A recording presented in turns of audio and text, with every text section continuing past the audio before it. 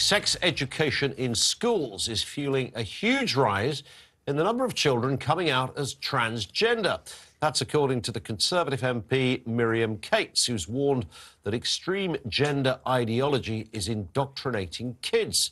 The former biology teacher claims the increase in those transitioning was a social contagion driven by the internet and reinforced in schools. A recent YouGov poll found that 79% of secondary school teachers have pupils who identify either as transgender or non-binary. And she may actually, I think she's probably over-egged something here. That there could be a point. A friend of mine, whose daughter is 14, in her class, there are 20 out of 32 kids who identify as non-binary.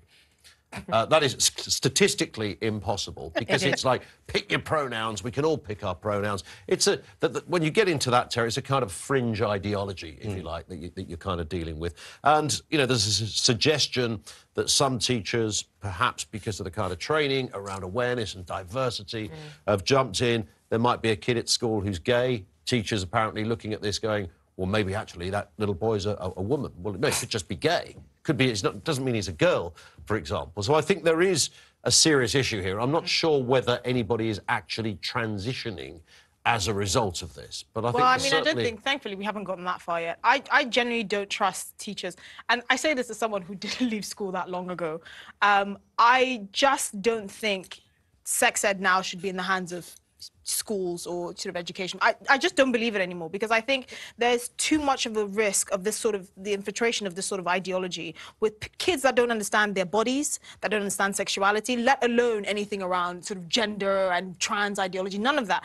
And, you know, I, I understand there are well-meaning teachers mm. that say, actually, you know, we're talking more about this sort of gender ideology and there may be a few of you in, I don't know, 2,000 kids that may be non-binary, let alone even transgender. But I just think the risk is too high. Sex education I don't think they are well-meaning. I think they're actually obsessed with. Well, I think they're obsessed with this idea of, of gender and sexuality of other people's children. Really? It's the it's the Halifax thing from yesterday. Oh, that was obscene. Um, but it, it, kind of feeds into all of that. Oh, we we better deal with. This. We well, why can't parents just teach their kids about sex well, education? you might think so, Daisy.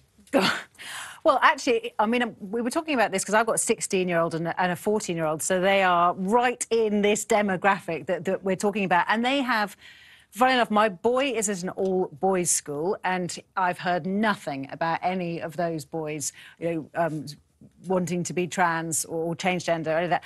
My girl was in a co-ed school, and, and then she, and she's moved to another co-ed school, and I've heard of loads um, of her friends.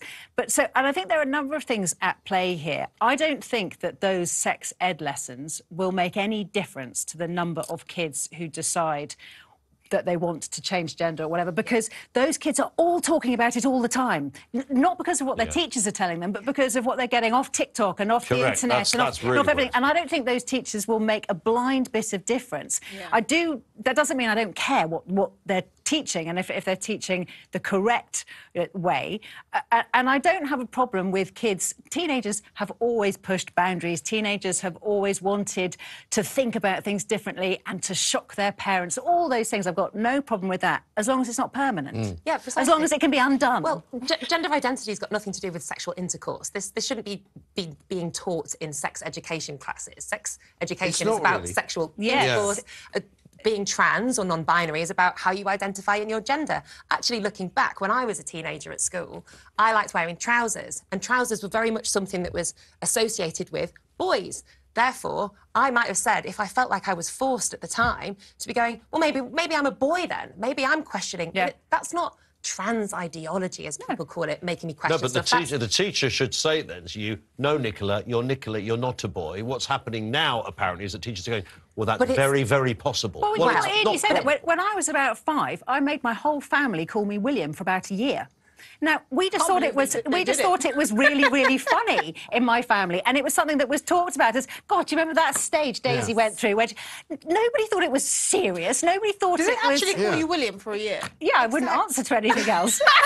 but the way that this teacher, this, sorry, this MP has called it a contagion, I think is so irresponsible because this is the sort of thing that people were saying about gay people only a couple of decades ago. Some people still are saying it. But we're not talking about the same. but not really, no, no, because If think... you let me finish my point, you can't catch gay in the same way you can't catch trans. Uh... But I'm, ah. I'm with you.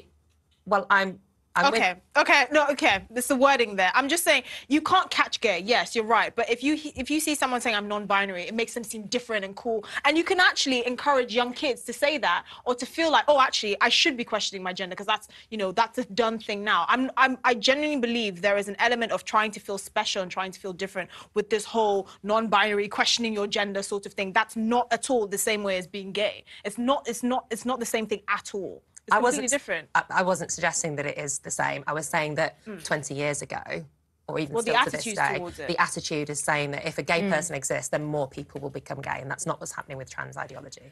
All right, we could.